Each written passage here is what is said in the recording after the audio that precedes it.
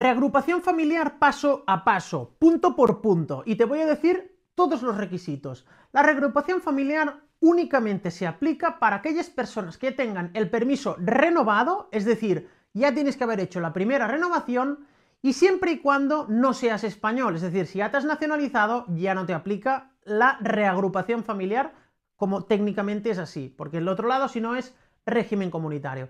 ¿Qué tienes que cumplir? Bueno, pues si son esposo o esposa o hijos menores de 18 años, fácil.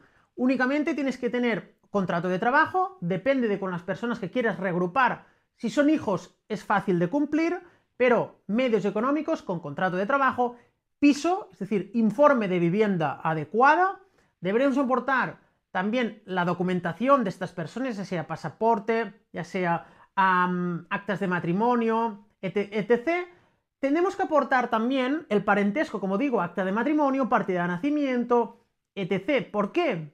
Porque tenemos que demostrar el parentesco.